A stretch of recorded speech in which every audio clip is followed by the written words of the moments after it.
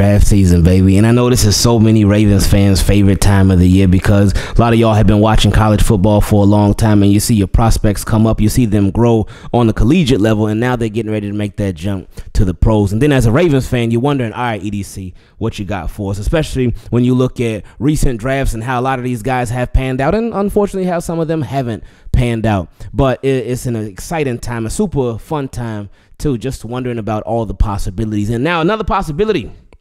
It crept up for the Baltimore Ravens, and it is at the wide receiver position. And I know as Ravens fans, we always want wide receiver. We want wide receiver early. And I know for a lot of Ravens fans, this year is really no different, especially with the uncertainty as of this recording of one Odell Beckham Jr. So we should know what happens with that within the next six days because the Baltimore Ravens, they got a decision to make with him. So we'll see what goes down with that. But possibility of adding a wide receiver from Texas with some crazy speed, some record breaking speed, literally, because he now holds the record for the fastest 40 time ever.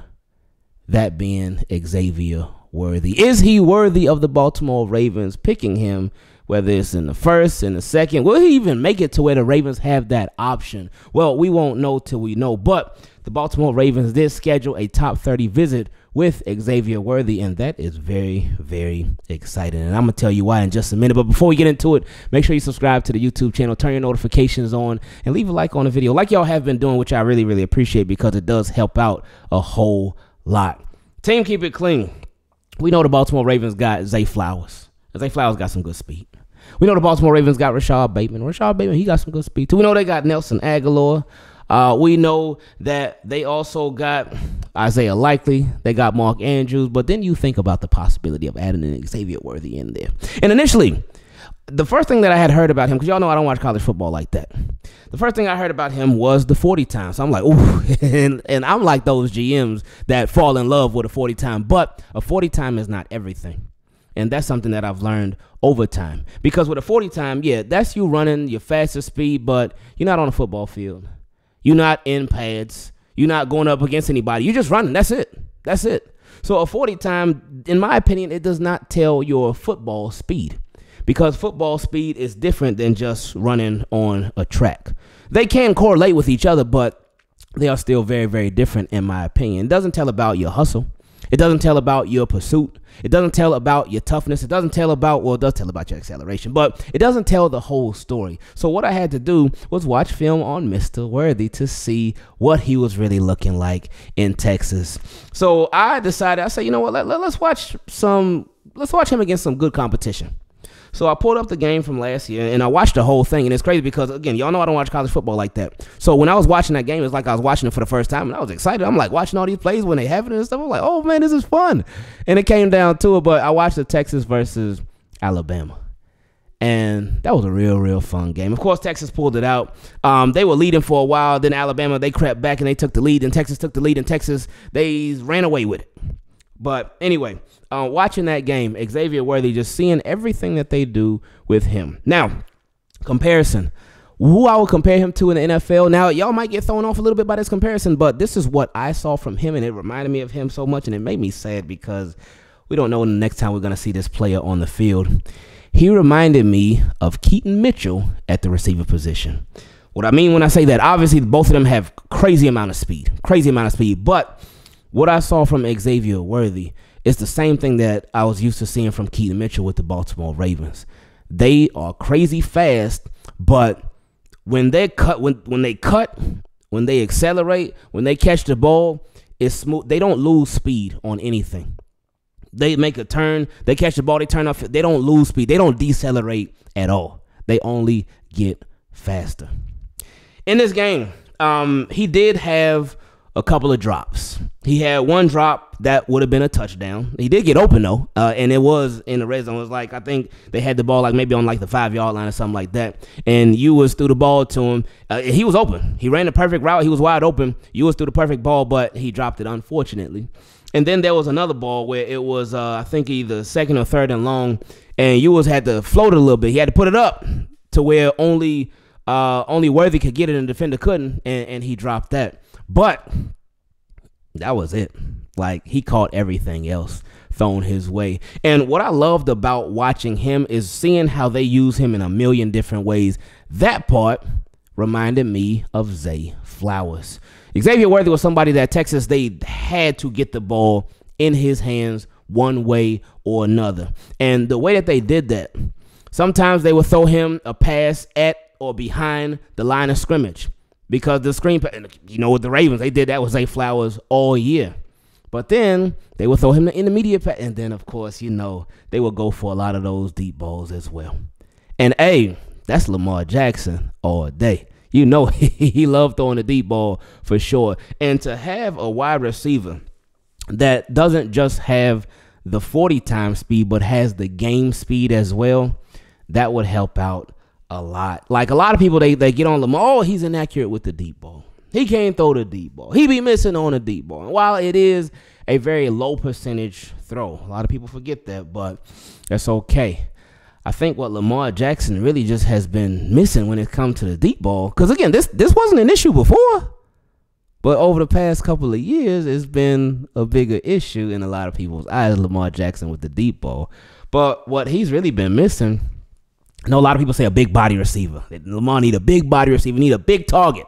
Especially if he's throwing a pass, so he can throw a jump ball. If he's throwing it and it's a little off, that big target got a big catch radius that could help make Lamar's job easy. And I agree with that. But what Lamar Jackson, in my opinion, especially when it comes to the deep ball, what he could use is some straight up speed again. And that was Hollywood. That, that that's why when, when Hollywood was here, you ain't hear complaints about Lamar Jackson's deep ball. Reason being because Hollywood got some crazy speed. Zay Flowers is fast too now. But Zay Flowers, he's shifty. And I will continue to say this. I think that um Zay Flowers got some real good speed, but I think Hollywood straight line speed, he's faster than Zay Flowers. Like straight up, he's faster than Zay Flowers. Zay Flowers is way more shifty than Hollywood, but straight line speed, hey, go get it. That's Hollywood all day. So I think with Lamar Jackson, that was one of the biggest reasons that him and Hollywood, their connection was just crazy. And it was literally crazy from jump from Hollywood's first game. And and I guess it's a Broward County Ravens type of thing. Shout out to the Florida Ravens because we see it. We saw Hollywood's rookie year. That was Lamar's second year. His first year being a full-time starter. But Hollywood came first game of the season. He kept his first pass went for a big chunk of yards. It was in Miami. We were at that game, by the way. That was super fun. But his first catch was a touchdown. He went crazy that game. And then, of course, we saw that deep ball just continue with those two. And then when Zay Flowers, when he comes through, the him and Lamar's connection, it was good as well. So I think with when you think about the possibility of an Xavier Worthy, it's fun to think about. Um, just everything that he can do and the way that they use him. And I know the Baltimore Ravens, they will definitely find a way to use him as well. What, was crazy about when I watched that game, I know college coaches, especially Nick Saban, um, I know he did his homework on Xavier Worthy for sure. I know he had his cornerback studying him like crazy. Hey, we can't let this guy get loose. We know he got speed. We know he can get open. I'm sure he had them locked in on had the, his cornerbacks, the Alabama cornerbacks locked in on Xavier Worthy. But it's one of those things where you know what this player can do. You know what you should do to stop this player, but he's still just so fast that you can't do nothing. You you you can't do nothing because and he, he's tricky too because you want to play back so he don't beat you deep. But then if they get the ball to him early, that YAC is gonna go crazy. It, it, it's gonna go crazy. Then you want to press him and to, to bump him off his route to disrupt him. But if he gets behind you, it's, it's game over.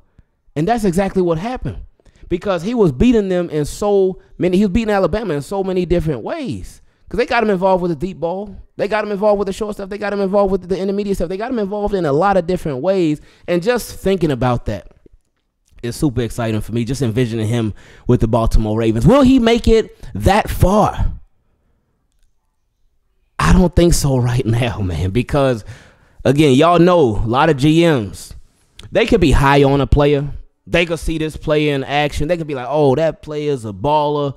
Uh, but then the 40. 40 times they boost players' stocks like crazy. And I know I've heard it be said that this is a loaded uh, receiver draft. And that's a beautiful thing, especially again, depending on what the Baltimore Ravens do at the position with Odell Beckham Jr., because that is a significant role to feel. Because Odell Beckham Jr. Had 30 something catches, 500 something yards, and a couple of touchdowns. And while I know for Odell Beckham Jr., it's like, oh, that wasn't really much, but I believe that was his highest average per catch in his career.